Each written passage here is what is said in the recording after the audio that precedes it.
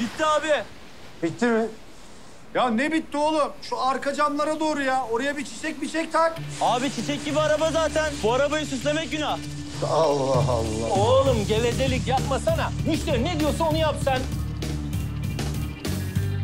Sonuçta bu iş yani parasıyla değil mi ya? Bir kere araba süslüyoruz yani şurada. İster çiçek taktırırım, ister çelenk taktırırım değil mi ya? Kesinlikle. O bir şey değil de borcumuz ne kadar? Normalde 5000 lira. Ama siz yabancı değilsiniz. 3500 lira olur size. 3500. Evet. Allah Allah. Görüyor musun şu an cüzdanı unutmuşum ya.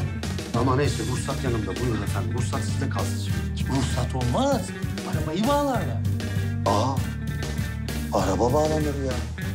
Hah, bendeki dalgınlığa bakar mısın abiciğim? Olur mu hiç ruhsatsız yola çıkılır mı sen harbi? Hayatımı kurtardın benim. Hayır şimdi buradan çıktığımı düşün. İleride bir çevirme bir şey oldu. Gel de şimdi trafik polisine ruhsatı benim çiçekçide unuttuğumu anlat yani. Ha, ondan sonra gelinle damadı beklet. Adamların hayatını kararttı icabında. Şu düğün teranesi yüzünden aklım bir karış havada vallahi. Sen var ya abi. Harbiden tebrik ederim. Allah senden razı olsun. Hayırlı işler abi, çok sağ ol. Ruhsatı bırakıp gidiyorduk az kalsın. Al kardeşim, eline sağlık. Hadi bakalım.